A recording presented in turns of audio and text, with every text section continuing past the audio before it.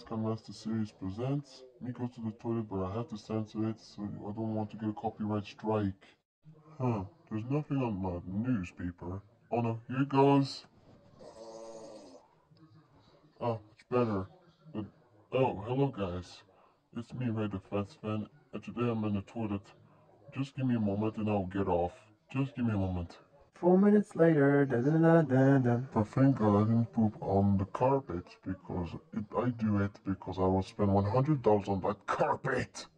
And there's one thing to do before I go to bed.